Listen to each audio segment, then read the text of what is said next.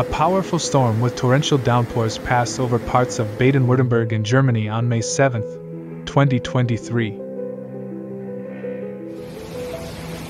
The River Eyach, which normally is about 30 centimeters deep, turned into a turbulent river and burst its banks. In the area of Zollernalb, streams of water carried garbage and mud with them, flooding the streets and many basements.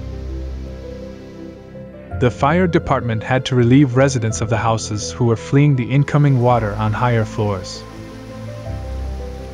Within just a few minutes, the sewage system was completely overflown with the enormous amount of water.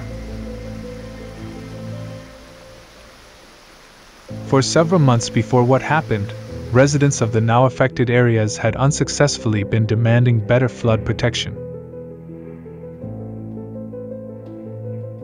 And now people are wondering could this event not have had such serious consequences if protective measures had still been taken?